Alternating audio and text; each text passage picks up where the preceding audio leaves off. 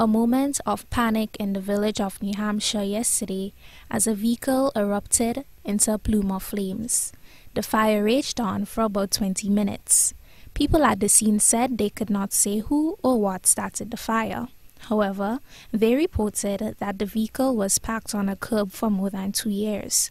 Some of the neighbors told GBN that they believe it could have been a case of arson.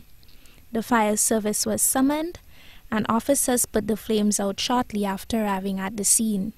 About six months ago, there was a similar vehicular fire on the same streets. Zenaida Wildman, GBN News.